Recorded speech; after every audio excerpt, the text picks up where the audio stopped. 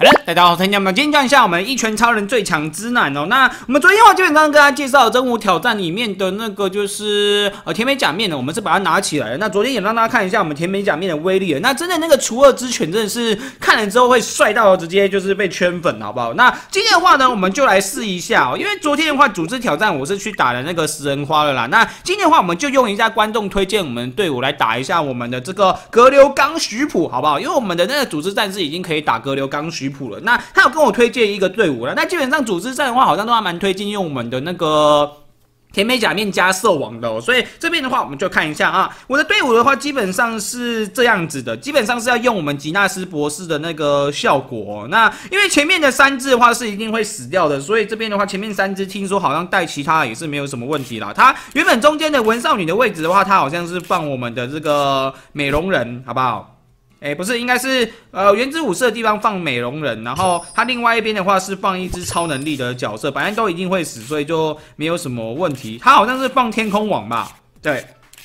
那基本上，因为打我们格流像刚徐普的话，大家都知道，一开始的话，绝对是会把我们三只全部都打死，前排三只直接轰掉的哦。除非是我们的那个啦，就是有不屈的角色，比如说我们无证骑士之类的。那无证骑士的话，基本上我看一下他怎么角色，他是格斗角色，所以我们这边的话有兽王的话，基本上也没有也没有什么需要啦。所以这边的话，吉纳斯博士的效果，这边给大家看一下啊。就像吉纳斯博士效果的话，就是诶，每当前排角色战败后，可召唤一名复制人哦，每个位置最多召唤两。次，所以基本上的话，我们可以守住，就是差不多两回合或三回合吧。那如果再用我们的甜美假面跟兽王来进行一波攻击的话，应该可以打出一些不错的伤害。所以这边的话，像快啊，不管大家带谁都没有什么问题了。所以我们这边的话，也是可以把我们那个文少女放上去，来吸引对面的格流刚徐普一波嘛。毕竟他是个正妹嘛，是不是啊？应该是没有问题的。然后可以把我们这个五的角色放上去哦，文武士上去，然后我们的。文少女上去，虽然上去一样一样会死啊，所以没有什么问题哦。好，那这边的话，它旁边右边都有一个挑战特性啊。今日格斗系角色对首领造成伤害提高十五 percent 所以兽王应该会打蛮多的。那暴走易伤，首领受到暴走状态下的敌人攻击时会受到额外的伤害，所以还不错。我们这边铜地的话呢，是可以帮我们一个十字的那个就是上火的哦。那这边他是推荐我铜地的话，可以用那个。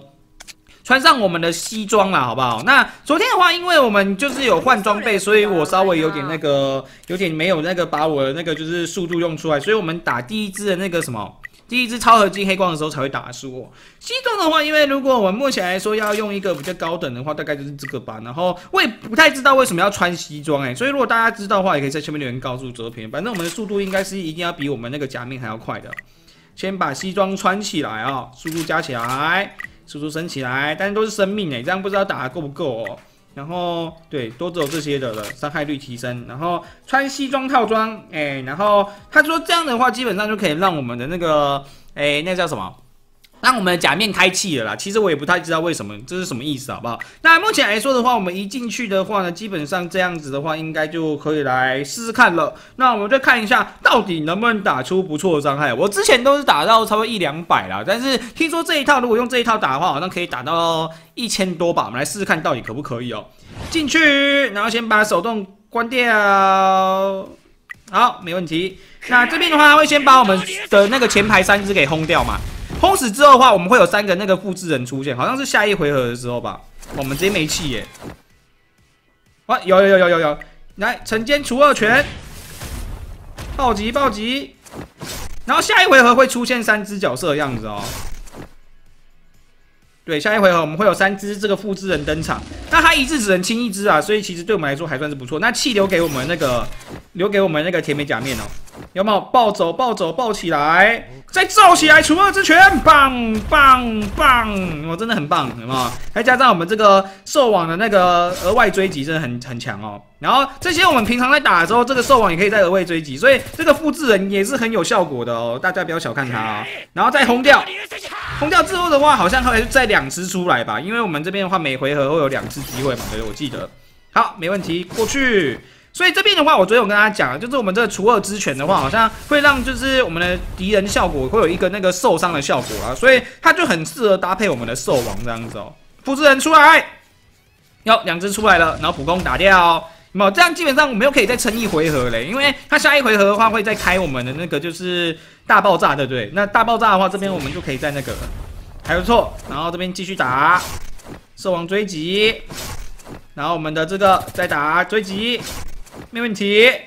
然后这边的话，我们气很多的话，我们可以再让那个铜帝有没有开一下我们的这个，让他这样打没问题，让他继续打，还让他崩坏了有没有？nice，除恶之拳揍起来，这样的话应该伤害就打还蛮足的啦，而且他接下来是应该是一个普攻哦，普攻的话应该是打铜帝吧，应该还没这么快打死哦，打死哎，好快啊！我靠，太快了吧！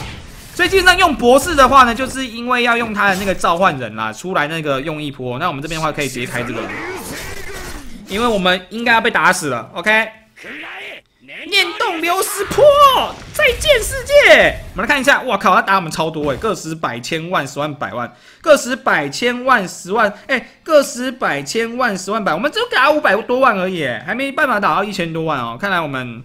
还是有点弱弱的感觉，不过因为一天的话会有两天两次的挑战结果啦，所以我们这边一局可以打到五百多万的话呢，那代表我们下一局的话应该是可以再打到我们的那个。就是加起来的话会一千多万啊，所以两个加起来是一千多万是没有问题的。那我们这边的话，这个食人花我们是一局就可以打到一千多万，所以这个晨间除二拳真的是好不好？有点六六六了，所以我目前来说都还是有在投资我们的这个甜美假面，好不好？我再把它这个赶快升起来，然后赶快把它就是进化一下。那兽王的话，如果大家想要跟那个就是甜美假面做一波搭配的话，也是可以把它练起来了。我之前是为了什么，然后忘记为什么原因，然后不练它，好像是因为我们有这个。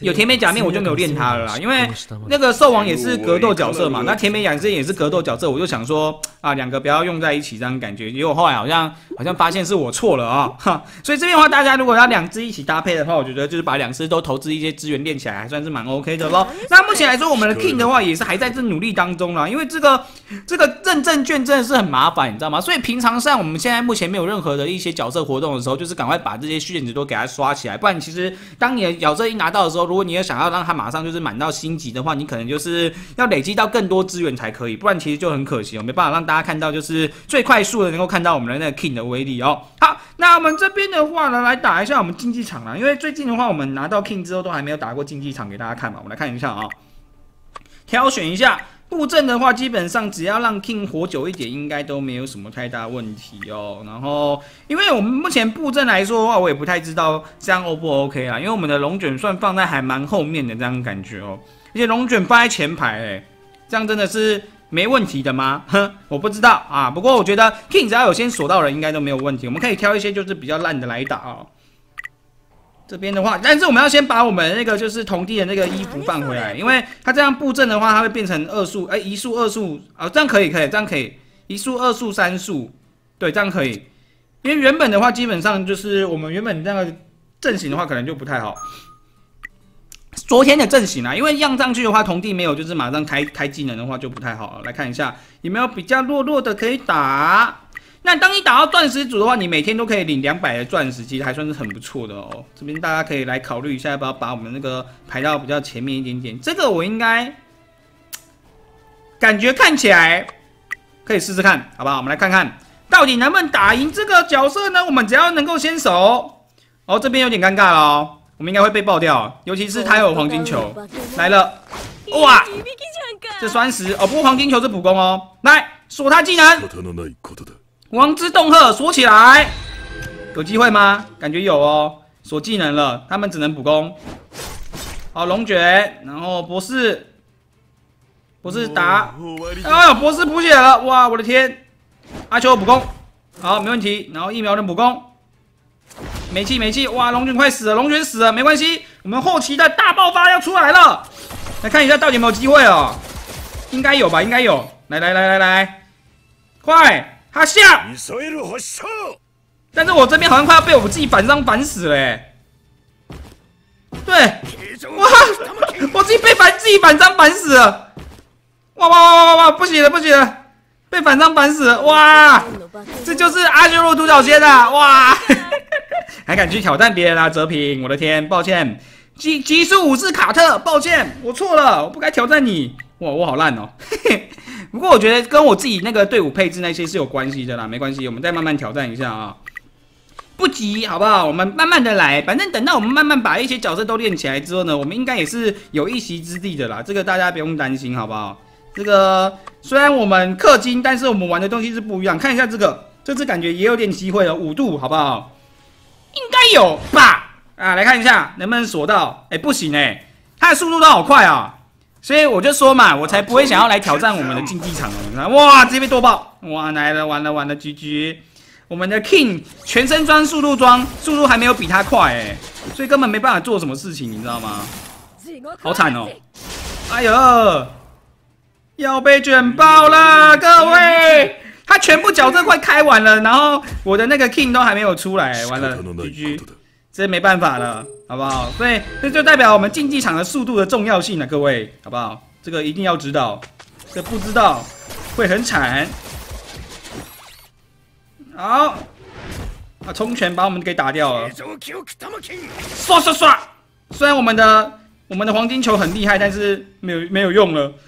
再见。所以基本上，为什么我泽平都很少打竞技场？原因就是这样子啊。因为虽然我们角色都有抽到，但是我们其实练度啊，还有一些就是东西都还没有准备好。等我们准备好之后的话，我们再挑战给大家看啊。你看对面真的是。